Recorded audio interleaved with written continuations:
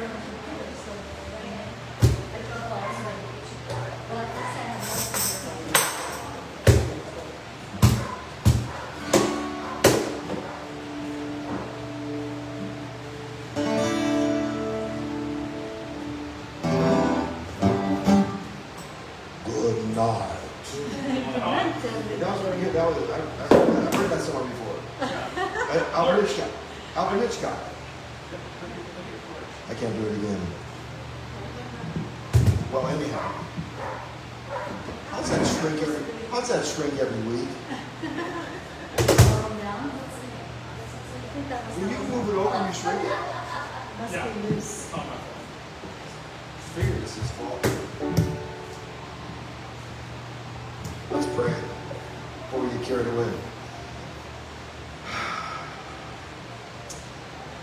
Lord Jesus, we come before you tonight, thanking you for your love and asking you to search our hearts, Lord. Cleanse us from any unrighteousness and fill us afresh with your Holy Spirit. While we're praying, Lord, we want to pray for Kristen and his family and, and just uh, what they've been through with this fire and what's going on now in their personal lives, Lord. We pray that, Lord, you would draw them together. You would cause unity in their family, Lord, and, and uh, that Kristen would shine the light in the middle of what they're going through. And Lord, we know that you'll take care of them in your way. I pray that they would turn to you, Lord, and they would know who you are. So we give them to you. Also pray for uh, Judy and the family, Lord, as they prepare to um, to say goodbye to Ron, Lord. Just minister to their hearts. Lord, bless them, be with them, comfort them, Lord. And tonight we just want to worship you in spirit and in truth, and in, Lord, we want you, you to minister your word to our hearts. So have your way in each one of us. In Jesus' name we pray. Amen. Amen. Let's all stand together and worship the Lord.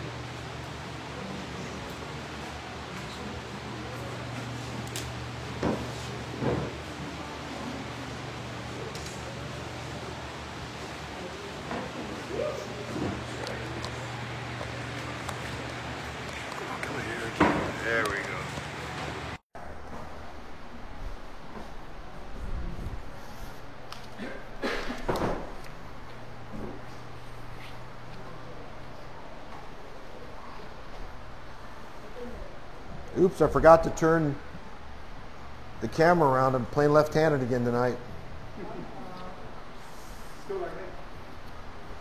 You know, I play left-handed, right-handed. It just works both ways. Brochures in the back for the women's retreat if you want to go. Um, right back there, grab one up, fill it out, and prepare to go.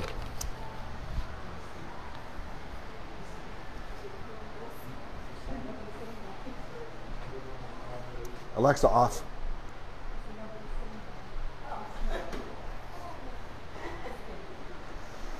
Music in the background. Romans chapter 8.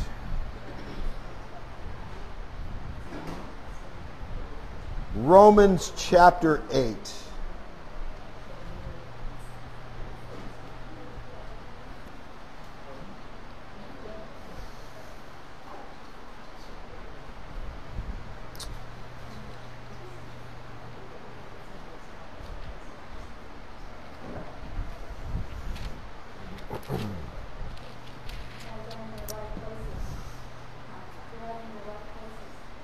I know it's weird, huh?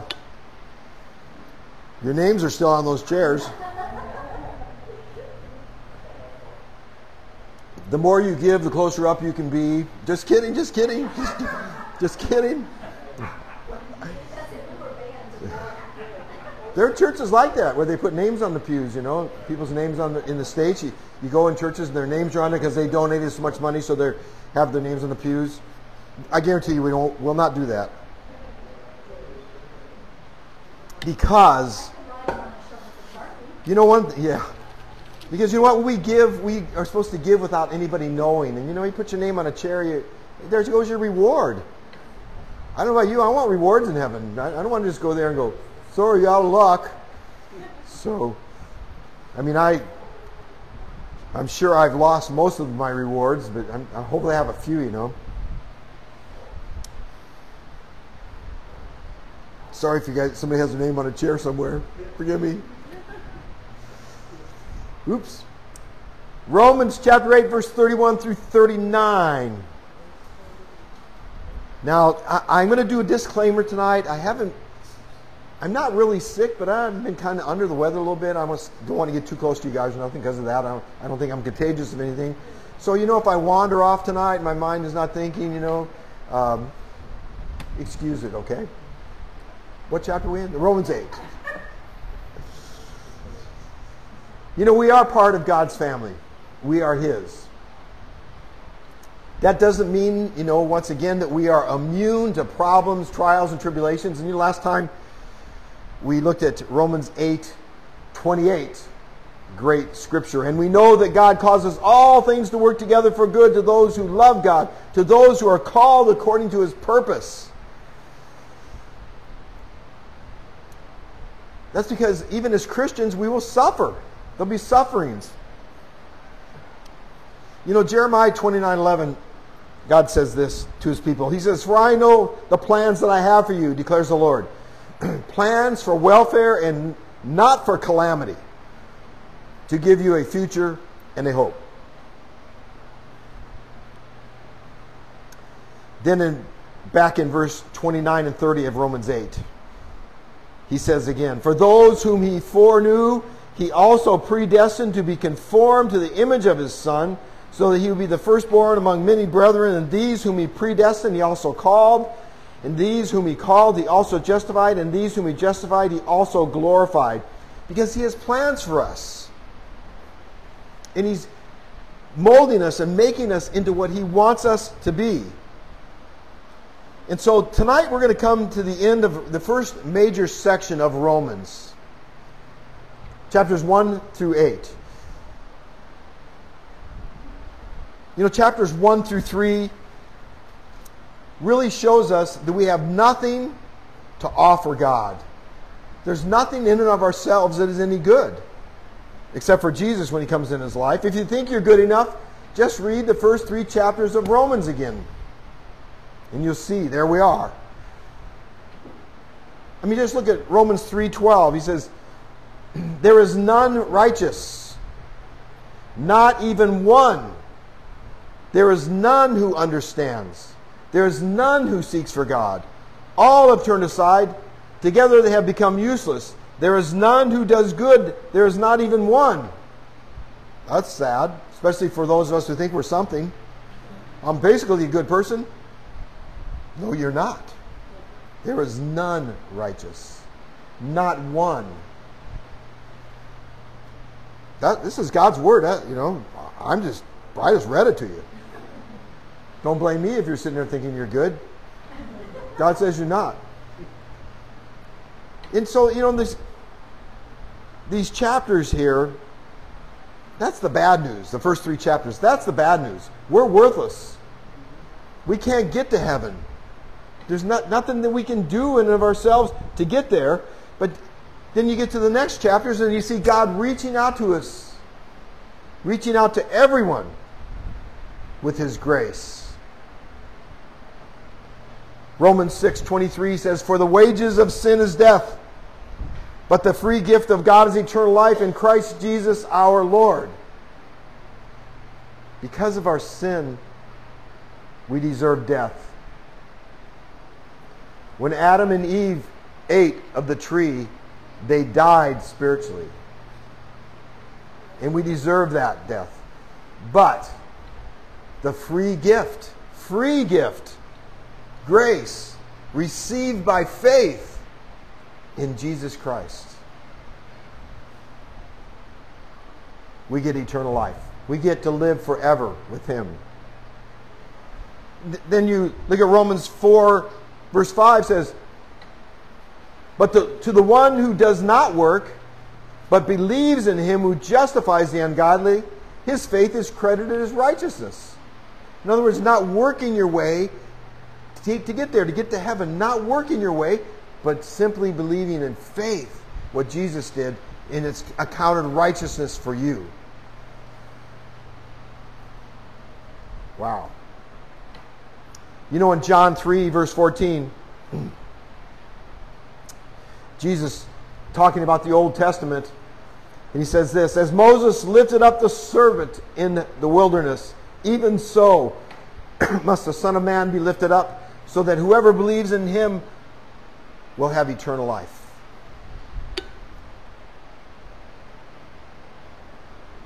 Many of us know the story, but the story is this: you know, Israel, they were in the wilderness, and the snakes were biting them, and when the snake bit them, they would die. It was over with. You got bit by the snake. Guess what? That viper, you're dead. And so God had them put a bronze serpent in the middle of their camp. And he said, You know, if anybody looks, when you get bit by a snake, if you look at that bronze serpent, you will not die. So when somebody got bit by a snake, all they had to do is pop out of their tent or whatever, go look at that bronze serpent, and they wouldn't die. But I imagine there were people there probably saying, Well, that's stupid to look at the statue in the middle of the camp and I'm not going to die. Forget that. And what they do? They died. I can't imagine there was too many of them because you got bit by the snake, you get desperate. We have a snake bite in the Garden of Eden, don't we? And who do we have to look to so that we don't die? Jesus. lifted up. Like he said there, as Moses lifted up the serpent in the wilderness, even so Jesus, the Son of Man, be lifted up, that whoever believes in him will have eternal life. Takes care of the bite of the serpent in our life.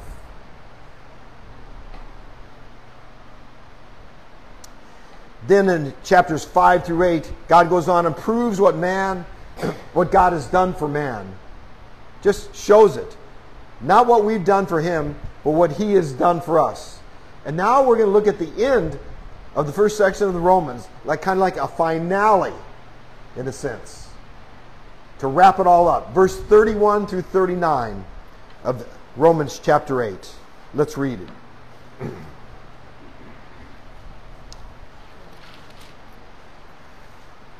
What then shall we say to these things? If God is for us, who is against us? He who did not spare his own son, but delivered him over for us all, how will he not also with him freely give us all things? Who will bring a charge against God's elect? God is the one who justifies. Who is the one who condemns? Christ Jesus is he who died. Yes, rather, who was raised, who is at the right hand of God, who also intercedes for us. Who will separate us from the love of Christ? Will tribulation, or distress, or persecution, or famine, or nakedness, or peril, or sword? Just as it is written. For your sake we are being put to death all day long. We are considered as sheep to be slaughtered.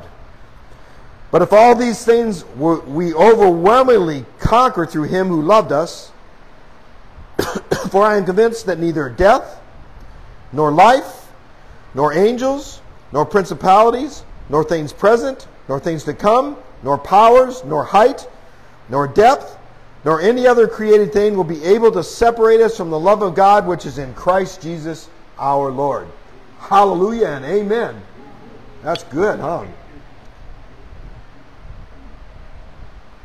That's like the end of the show, you know, that's the finale. Yay! Encore, encore. And then, you know, we're going to get into chapter 9, but.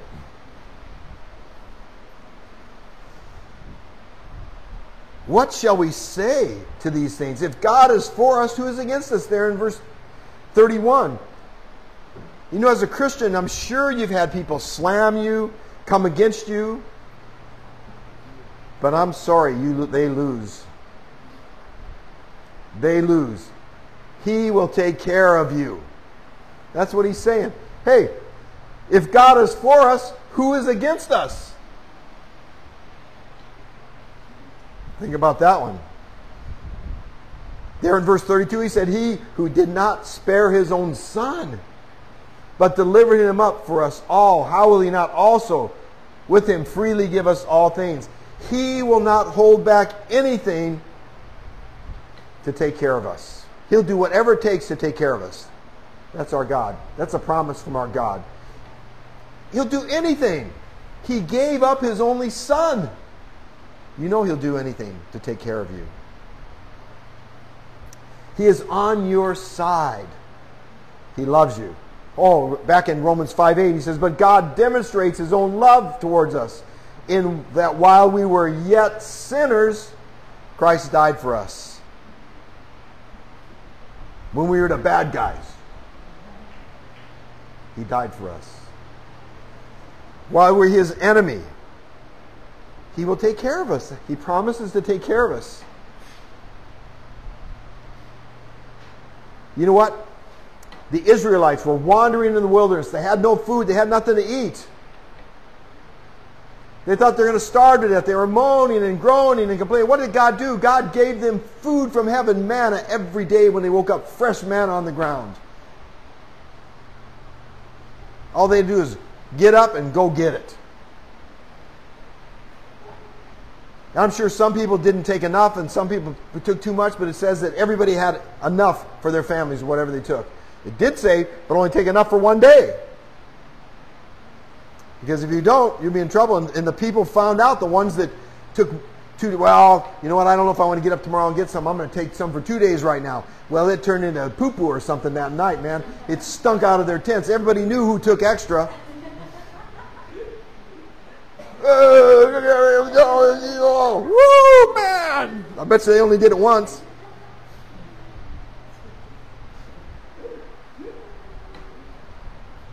I remember, I, I, I, this is not a godly story. I'm not going to tell you, never mind. But I had something turned back into poo poo once in, in my backpack. Oh, it was awful. So I, I understand.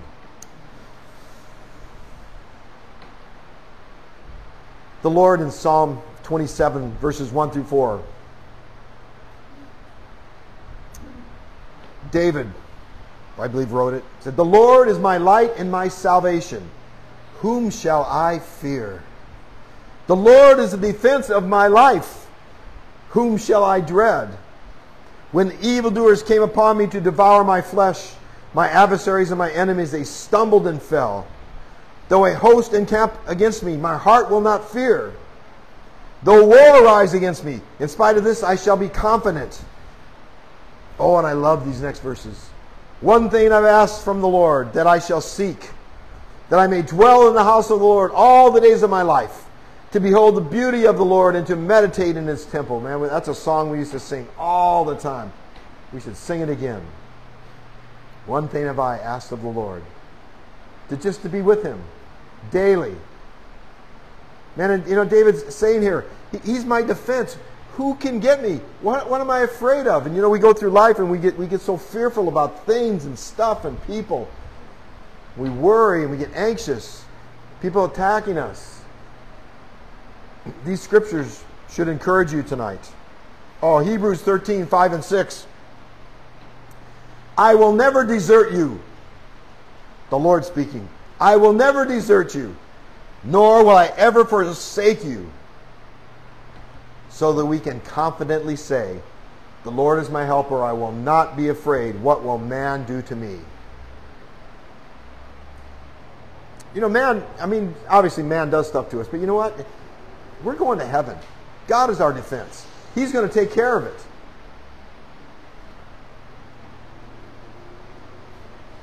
You say yes to the Lord, and but there's so many troubles and trials in your life. Yeah, Lord, but there's so many troubles, so much trials. That's it.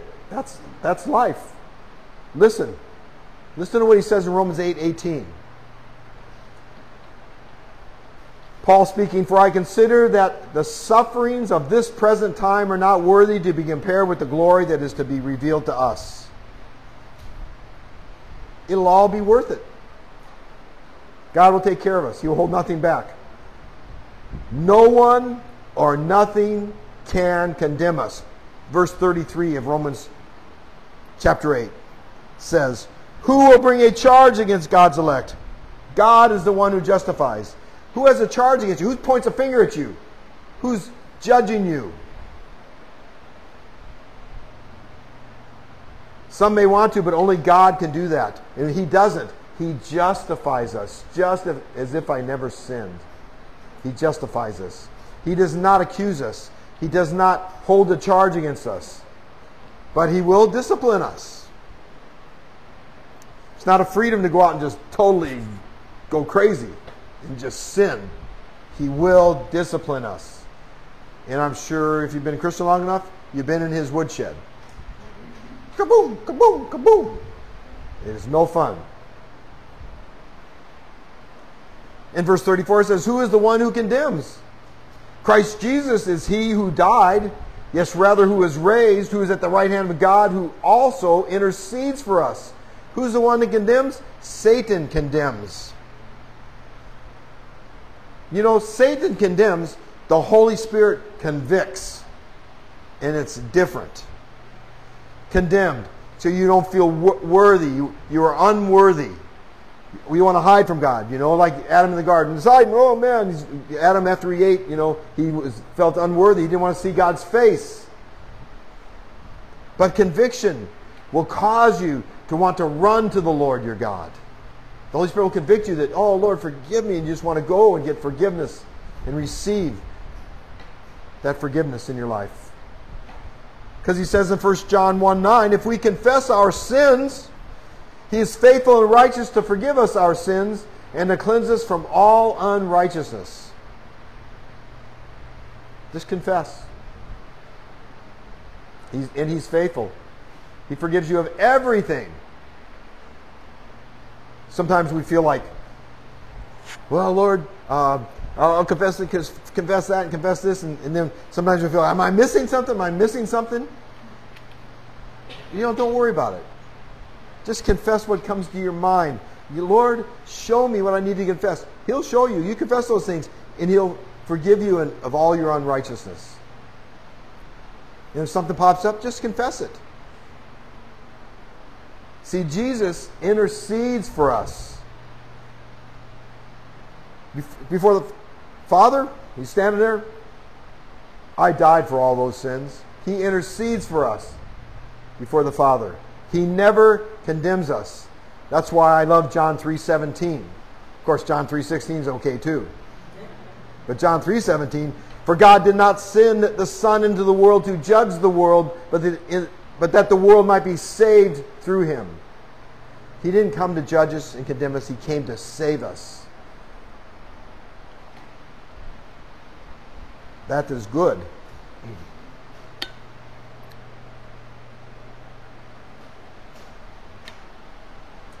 God will never allow anything to separate us from his love.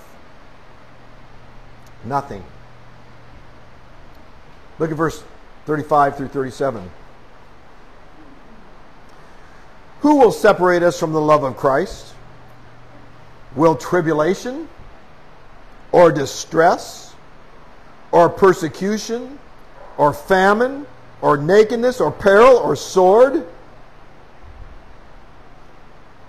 Just as it is written, For your sake we are being put to death all day long. We are considered as sheep to be slaughtered. But in all these things, we overwhelm, overwhelmingly conquer through him who loved us. It's a done deal. Can tribulation separate you from your God? No. Most of the time, tribulation causes us get on our face before God when troubles come. Even in the world, you know, people go through stuff. Even those who are non believers, you know, many times uh, the first thing out of the mouth is, Oh God, help me. I'm sure people who have been in war and in the trenches and the, the bullets are going over and they see the guy get killed next to him and somebody getting hurt over here, losing an arm, you know, and you're sitting there as an atheist. I bet you're not an atheist too long.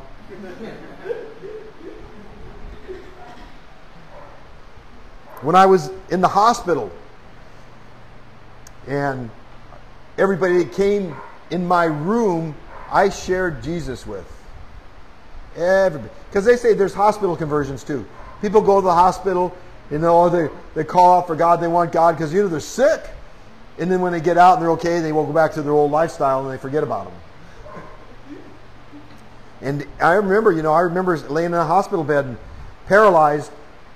Oh God, you must want me to meet somebody. Everybody comes to this room is going to hear about Jesus. You came in my room, you heard about Jesus. They called me the Reverend, the priest. You know, I heard later they said, whatever happened to that priest that was in here, you know? Whatever happened to that guy? You came in my room, I don't care if you came to draw blood, came to move my leg up and down, or feed me some food, or take, give me a shot, or just you heard about Jesus, didn't Anna? Everybody. And then when I moved from the one hospital into rehab unit at another hospital, St. Mary's Hospital, you know, I had physical therapists that had to work with me every day. Oh, and you know what? You know what I love about that is the patient is first. The patient is always right. You can't you, you can't you can't make the patient you know feel bad. Once I understood that, you know, Jesus really loved. I mean, I just gave to it. They just heard it every time I had physical therapy of any type, occupational therapy, physical therapy, whatever therapy I had. Jesus came out. Probably drove them crazy. But at the same time, Miss Ann and I led many people to the Lord in that hospital. Nurses, patients, people coming in. We led people to the Lord a lot. And then we got out. Here's where I'm getting to. We got out of the hospital. And we continued our life in the Lord because we were Christians. But a couple years down the road, two years, three, four, five years down the road, once in a while we'd run into a, a nurse or, or somebody that was in the hospital there. We and I are out in the park doing a concert, and they saw us and they recognized us because we were doing a concert. And so afterwards, they come see us. You know what they would say? It was really real in your life because they see all kinds of people go in the hospital that's not really real. They're just grasping on help God. It's important during tribulations, but not just during tribulations, but in our lives, that we walk with Jesus consistently so people see it, so people know. Tribulations will not separate us from Him. Or distress or stress, anxiety and worry, that's not going to separate from Him. He still loves you. Persecution or famine,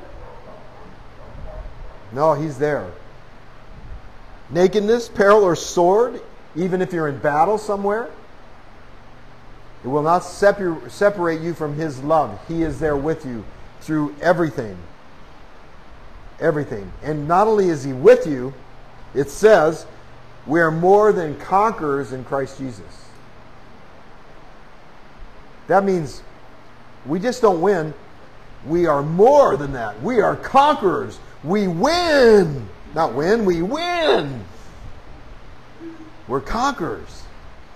Gladiators for Jesus.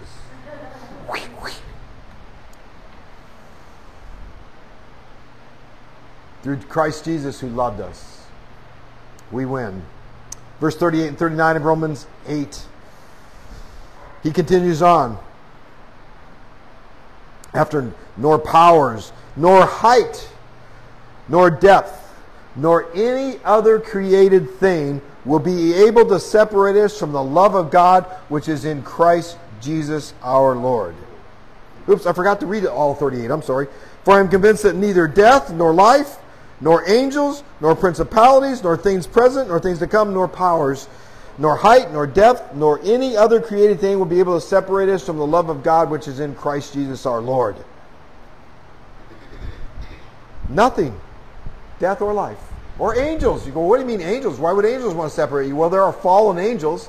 Satan was an angel. He was a beautiful angel before he fell. He wants to separate you. He wants to pull you away from the Lord. He can't. Because we are in the love of Christ. Christ did it for us. We don't even have to, you know what? You say, I'm just hanging on to Jesus. Well, you can't even hang on. He's holding you. We think we're hanging on. He's holding us. Nothing. The finale. Finale. Nothing, nothing, nothing ever, ever, ever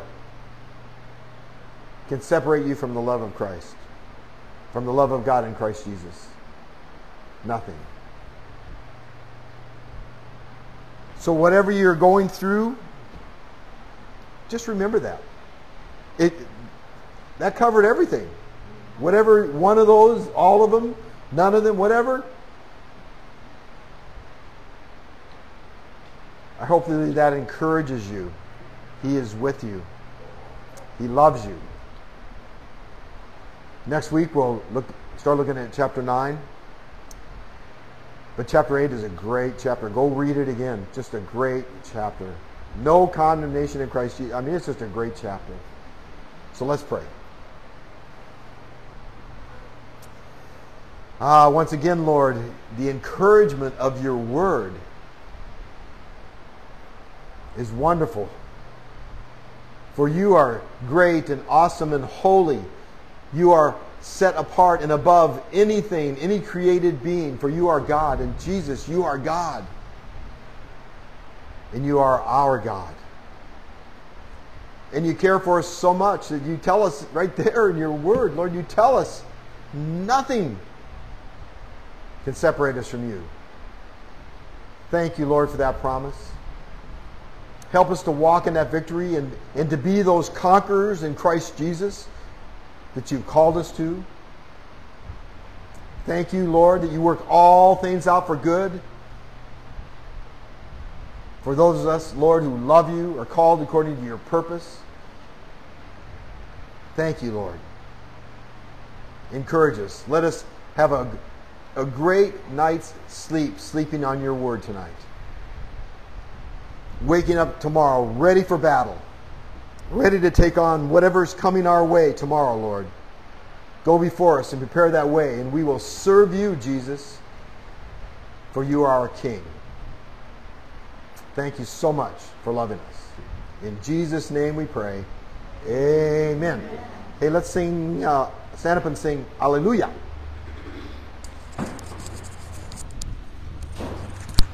Hallelujah. Hallelujah. Hallelujah.